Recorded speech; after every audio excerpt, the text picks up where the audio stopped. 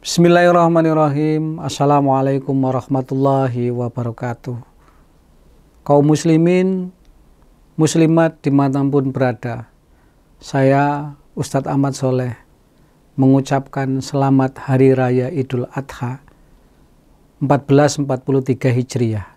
Melalui Hari Raya Idul Adha ini, kita semuanya menuju kepada Allah Subhanahu wa taala.